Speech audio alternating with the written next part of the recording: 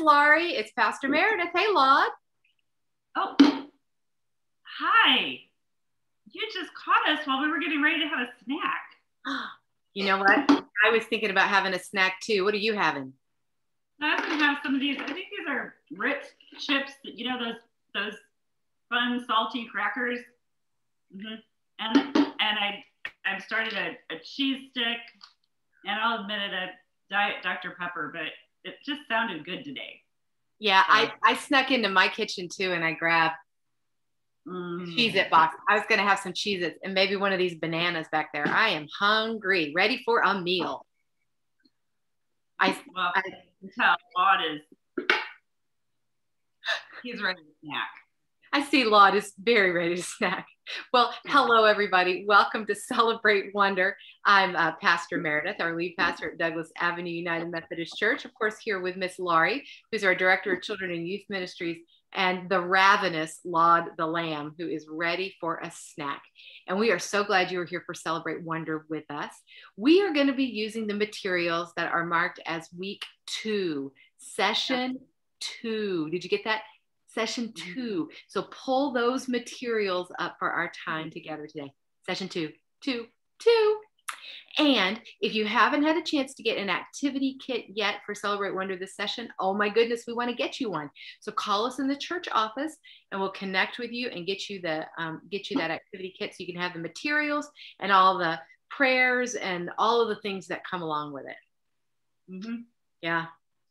You might want to go get yourself a snack right now. So maybe grab a snack and and we'll head on to our wonder table and you can head to your wonder tables too. How's that sound? Sounds good. Mm-hmm. See you there. Hi, everybody. Welcome to the Wonder Table. We're here, right? Okay. Laud. He's too early again. He likes his bunny ears. I'm okay with that. That's okay, Laud. We're getting ready for Easter this week. We understand. He's really excited. Good. Very excited. Mm-hmm. I, you know what? I would. I, I would take him off for, for one more week. Okay. Okay. He's gonna, he's gonna take those off. Yeah. Because now we want to light our candle. See if I can do better at it this week. Ah, there we go. Oh, oh dear. Oh dear. Oh dear.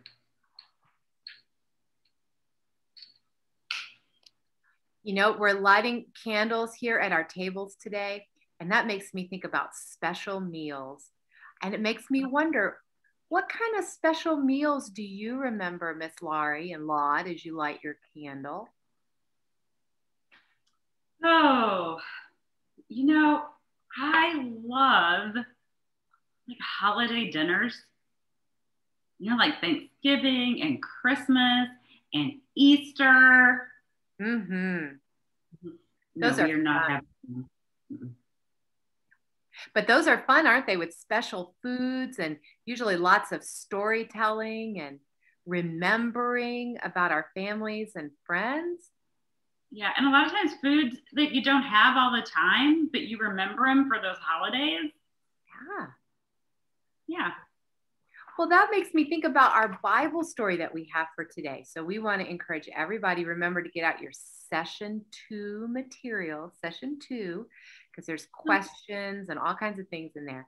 But our story today, and you can read this in your Bibles, is from the Gospel of Luke, chapter 22, verses 14 through 20. And we're going to hear about today the Passover meal that Jesus celebrated with his disciples. And the Passover meal is a special meal celebrated by our Jewish brothers and sisters where they remember the story how uh, God saved their people from slavery in Egypt and delivered them to safety. And it was at this special remembering meal that Jesus gathered his friends and his disciples around. And he you know we we know from our bible stories that sometimes the disciples had a hard time understanding what jesus was up up to right? They they didn't always get it. Jesus wanted to give them a special way to remember what he had taught them and to remember him. And so when they went to eat their bread together i have some bread here and drink from their cup together which they always had um, at the passover meal jesus told them that he was going to love them forever and love the world forever, and that the bread, eating the bread and drinking the cup, were going to be a special way to remember him forever and ever. And so, oftentimes, when we get together at church, we share and we eat bread and drink uh, juice together as a way that we remember Jesus. And that's what our Bible story is all about today, which is pretty cool, I think. Word. And it's our word. Yeah. Yeah, yeah. And that got me to wondering. Now, you could ask some, when you read your Bible story, you could roll your Wonder Cube and ask some wonder questions. You can use the questions that are in your uh, session two materials. What do you think, Laurie and Laud, that Jesus's friends remembered about him? Hmm. I think they probably remember his goodness and how you know kind of thinking about back to last week how welcoming he was to everybody. Mm-hmm. Everybody. Yeah he was welcome. He welcomed everybody to his table. I think they probably remembered how he healed people and talked with everybody and loved everybody and loved them even when they were not being very lovable. I think yeah. they probably remembered all of those things well, this I is agree. a week. This is definitely a week for us to remember things about Jesus. So why don't we head into our Bible story video? I think it's going to help us some more. What do you think? Mm-hmm. A lot agrees. Yeah. Well, let's do our prayer together and then we'll watch our video. So let's pray. You ready? All right. Dear God, Dear God, thank you for giving us ways. Thank you for giving us ways to remember you to remember you. Amen. Amen. Great. Well, let's watch our Bible story video and learn even more. All right.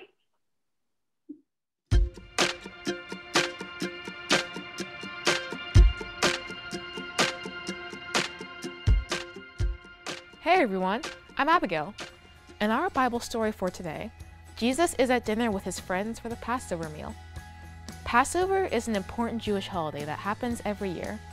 Sharing meals was also a normal community activity in Jesus' time. Jesus sat down at many tables with his friends, sharing their time and coming together over food. But this one was different. Jesus took bread and broke it. He said to them, This is my body, which is given for you. Do this in remembrance of me. Then he took the cup after the meal and said, this cup is the new promise, the new covenant. Drink it and remember me.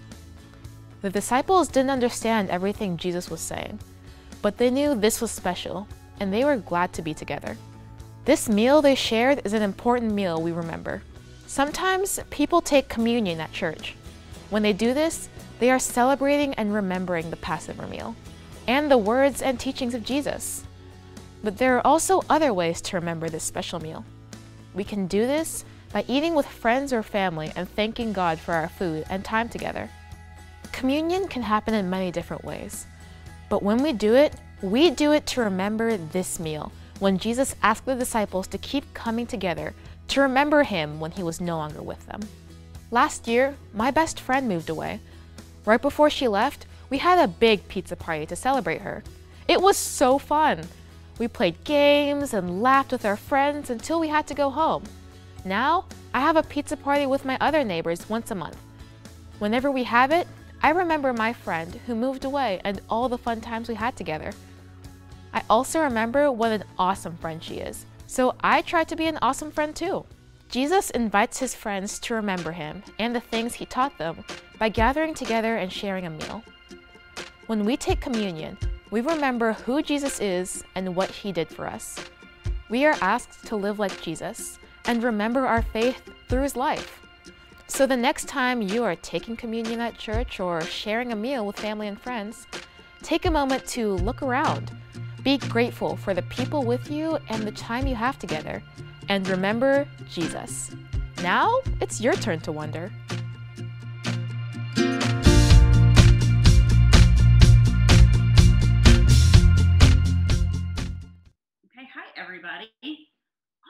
Activity this week, we are going to make a menu. Think about things that you might serve if Jesus was coming to dinner at your house. I know, kind of a lot of pressure, right? It's Jesus. What would you serve?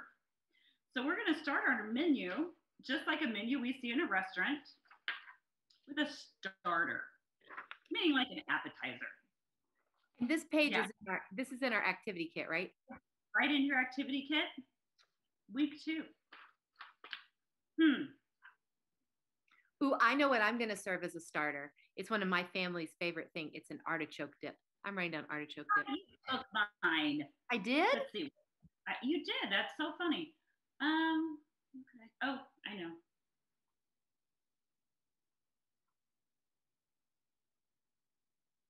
I went with nachos. Yum. Okay, what's next? A main course. That's like the main thing that you would order. Yeah. Hmm. Oh, you know what? One of my family's favorite things is is roast with roasted potatoes and vegetables. I think Oh, that that would be good. good. I'm writing that down. Now I'm going to pretend that I'm my kids and I know what they would put. Chicken fingers and french fries. Oh, that sounds good too. hmm And then we get to come up with dessert. Yeah. Chicken fingers and french fries. Oh, maybe some barbecue sauce on the side. There you go. Oh, Miss Laurie, the next thing is dessert, and I know what my family would want me to make. It's a favorite, and I think Uh. Jesus would like it too. It's very southern. I would make banana pudding. So I'm writing that down. Wow.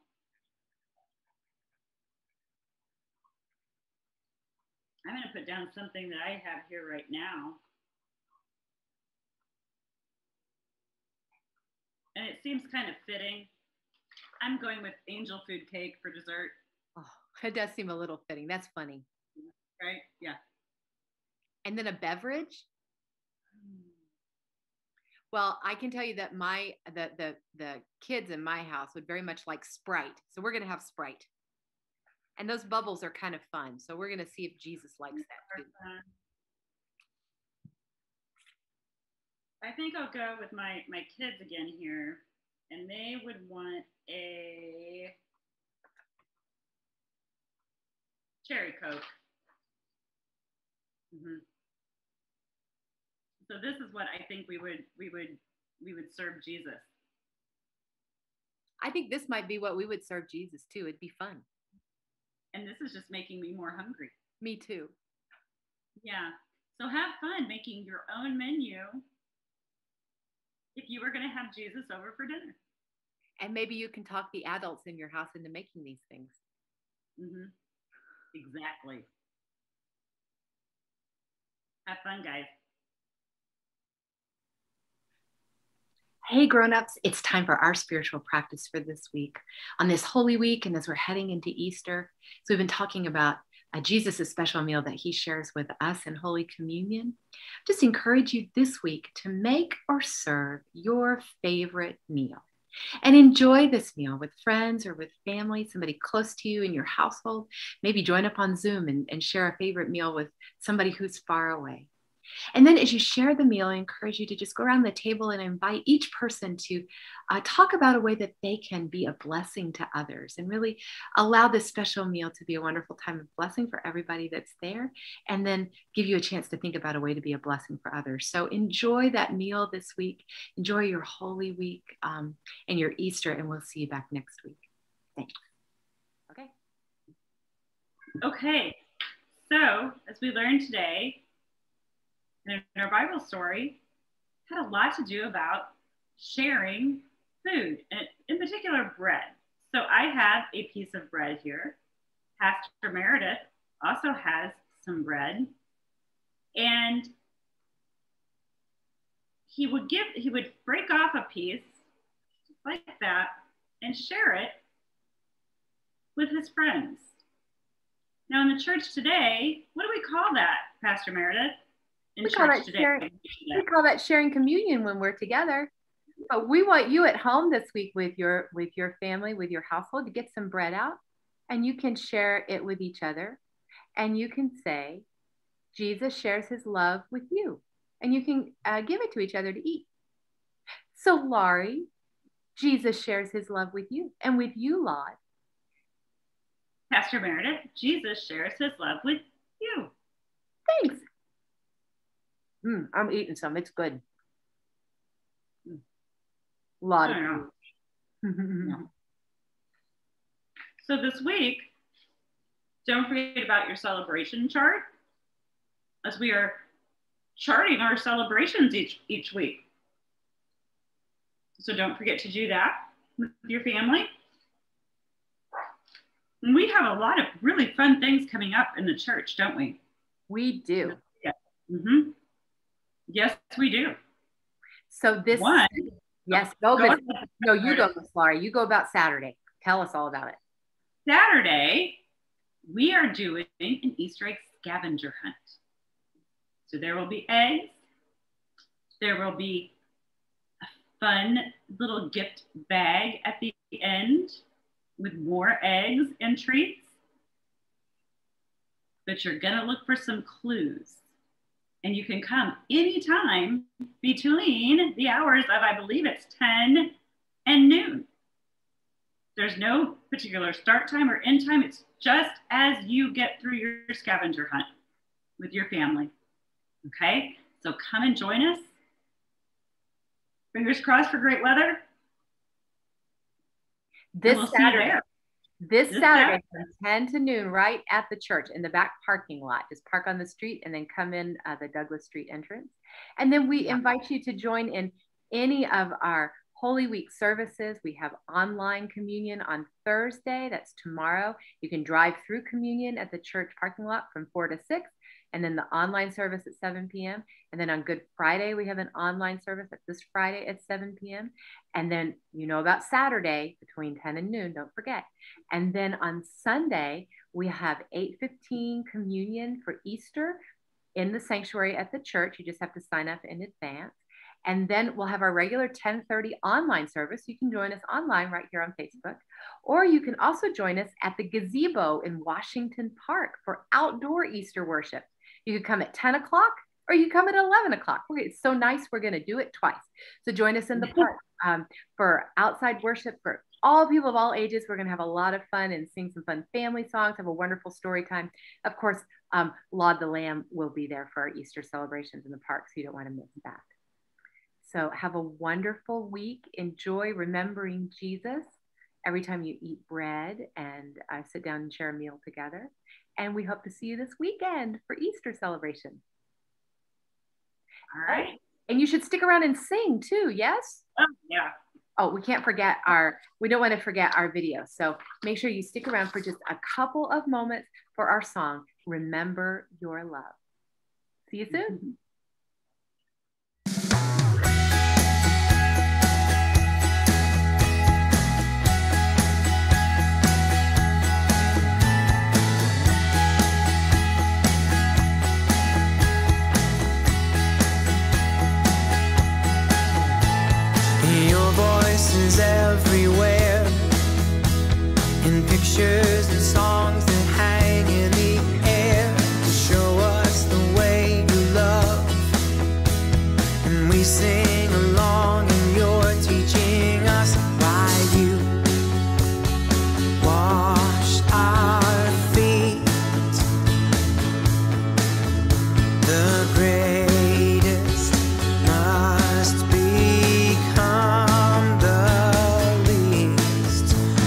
There's power